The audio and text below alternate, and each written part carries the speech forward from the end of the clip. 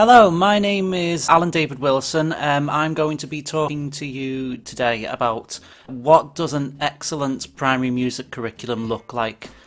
Uh, I am a teacher at Monksdown Primary School. Uh, we became a Musical Futures Champion School in very early 2019. Previous to that, I was a secondary music teacher for about five or six years. So the aims of today, basically the aims are to have a look at what vision you might want to set for your primary music curriculum, ways to begin music lessons, looking at the learning environment, the resource management, how you'll manage your resources, how to look at broader musical exposure, and also how skills develop over time. So, a primary music vision, the vision will very much depend on your school, on your community, what they actually need. A vision for primary school in, for example, North Liverpool is very, very different to a primary school that's down the road from Eton. So basically, the first thing, and first and foremost, that I would expect in a music vision would be for the children to enjoy it and to have fun. That goes back to the first quote that I did at the very, very start. If they're not having fun, that's not music because that's why we play music, that's why we listen to music, to enjoy it and to have fun. The children should be able to sing with confidence. That is something that comes with continuous singing, with celebrating singing, catching children doing something good, especially if they're very quiet ones and they're opening their mouths. To learn through doing, we are tactile creatures. If I give a tambourine to an adult, the first thing they start doing is shaking it and playing it because they're not they're not misbehaving, they're doing what humans do. So to learn through doing is so essential. We need to actually incorporate that into as many lessons as possible. Uh, to experience and embrace music from other cultures, to experience a variety of instruments and how to play them, to understand the origins of a piece of music, that is something that I see missed quite a lot, and some children do actually need to know what those words mean, they don't understand them naturally. Finally, to include everyone. So, looking at ways that we could possibly start a music lesson, the, we want to think about a way that we can excite from the very moment that we begin the actual lesson. Uh, that can be through uh, again a variety of ways. It might be that as soon as the children walk in the room, or as soon as we get the opportunity to um, engage the children, we have something as simple as um, a YouTube video with, say, Just Dance or Kidz Bop on, something that they can get up and get moving to and really have a go at. Give them a reward of some sort, get them excited, get them wanting to join in.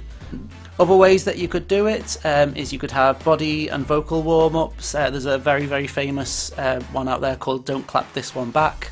You could do vocal warm ups, um, calls and responses between children. If the children have had some prior learning on a song, they could come in and as soon as they walk in the in the room, they could have the song playing and they need to sing it.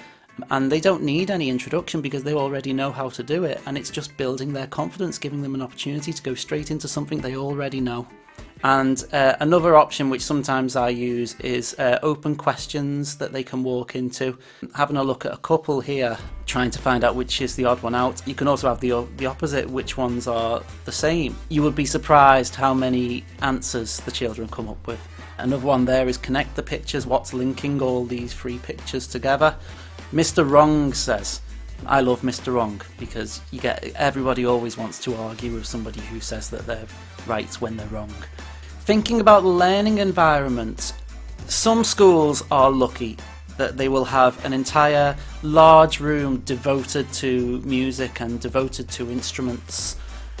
Some schools are not so lucky. The most they have is a music trolley. Take every opportunity you can to try and find a room, talk to the head, talk to whoever you need to. Um, start, even if you can't get a room, start off with a little space Young children are very, very, very tactile. You want to give them the opportunity to touch and feel and experience as many instruments as possible, even if it, that is only just a one off lesson um, on, say, for example, a trumpet and you've only got one trumpet or you have to borrow a trumpet.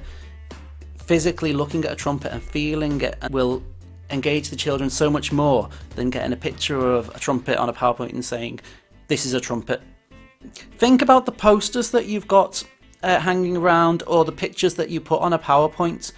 it, it's all good and well having um, a poster up on the wall showing a variety of string instruments when all the sizes, when all the pictures are just cartoons, when they've never even seen a real instrument before. So think about how useful the posters are. Are they giving the information to the children that you want them to learn? Because if they're not, they're just wallpaper. Going on to the next thing, but still referring back to the posters, think about the attention span of children. Um, I know from school myself that um, I didn't always pay a lot of attention to the teacher's explanation because I got bored, but I was but I would phase in and out of it like most children will.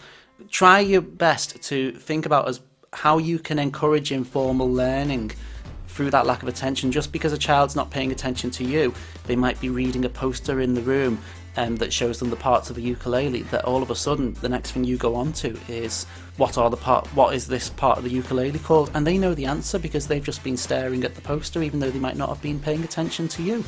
Leading on to my next thing after that is praise magpies. If you ask a question and a child knows the answer is in the room, they know where it is on a poster, and they instantly look at that poster, they find the answer, and then they tell you it. You know they haven't known it off by heart, but they tell you the answer and you say, Where did you learn that? And they say, It was on that poster. Some children will say, He cheated, he looked at the poster. But I will say, That's brilliant, you've done such a good job. You've used your brain to figure out the answer, even though you didn't know it, because the more they get praised for that, the more likely they are to know it off by heart in the future. Looking at just a couple of posters just before we move on, another instrument we use a huge amount in our school is the ukulele they need to know the part and we can roll them off very very quickly especially if in the room as soon as we say what are the parts all the children will look at the poster and they know how to they know the answers. In addition to this uh, one of the things that we're seeing in deep dive more is how subjects promote each other. This map here and it is focused entirely on which artists we look at and where they are from. And we also have one for the USA and we also have a classical one and quite often, children will say, "I've been there" or "I've done that," and all of a sudden they've got a personal connection to where to the music that they're looking at. Moving on to resource management, uh, make sure you've got resources, visual resources that are suitable to the children. Musical Futures do some fantastic ones just through Just Play, through Everyone Can Play, and the Ukulele Songbook.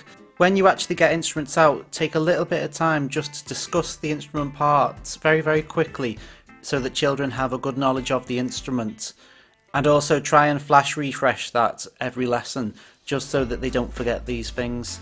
Uh, have a chat about uh, respecting the instruments, what you can do with them, what you can't do with them, what parts you can tap or, or hit more heavily than other parts, what you shouldn't pull on, what you shouldn't twist, what you shouldn't turn, and also what you should do if you have to leave the room for any reason, where you should put the instrument uh, how you should take care of it.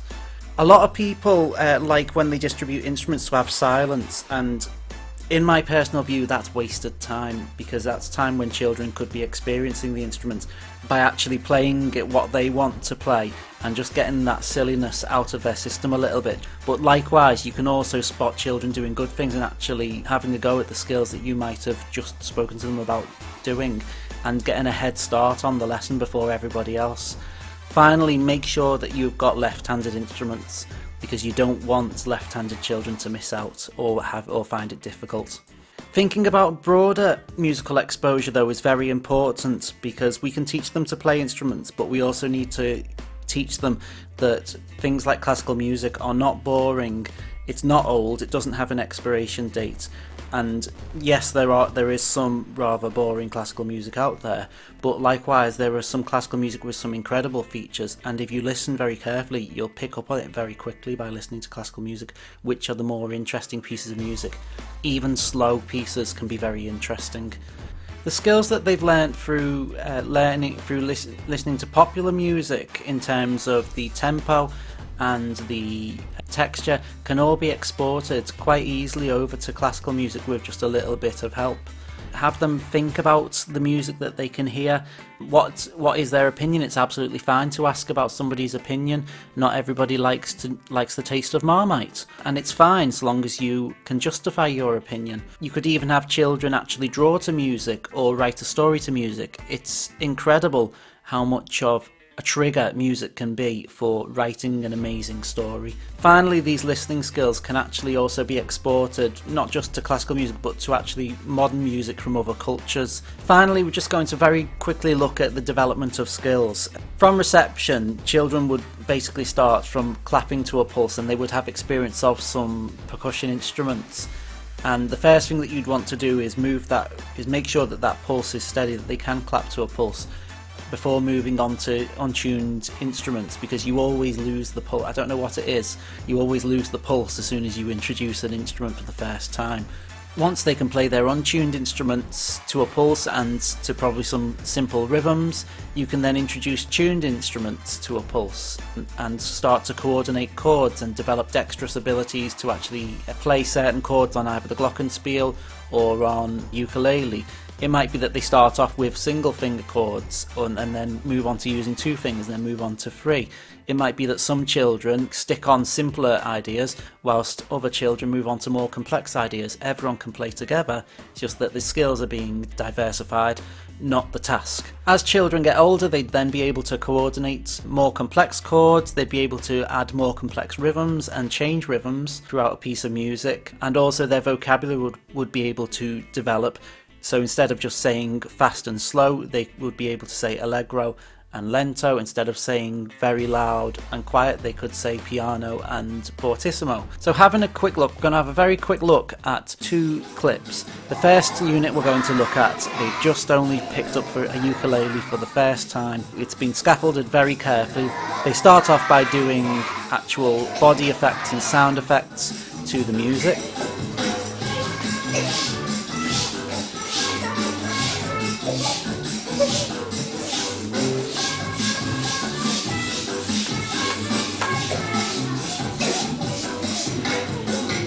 They then move on to clapping the rhythm, clapping the pulse of the music.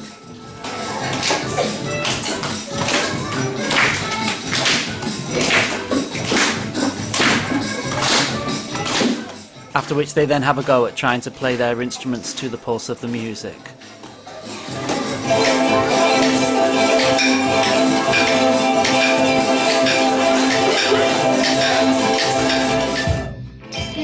Next clip is year is a year four class where you can see that they've now developed these dexterous abilities to play their instrument. They can play it very steadily to a pulse, they can use their fingers to play three different chords, and they can also hold their own part as well as play along with other people.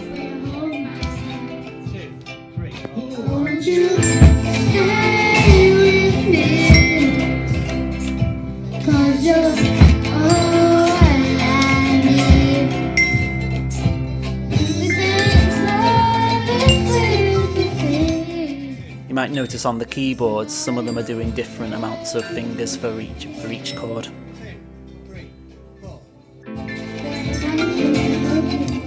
So that brings me back to the very start. What does an excellent primary music curriculum look like? Well, it looks like a lot of fun. Uh, it looks like a lot of excitement. Everybody is included, no matter how skilled the person is, and it's a cause for excitement in the school. Thank you very much.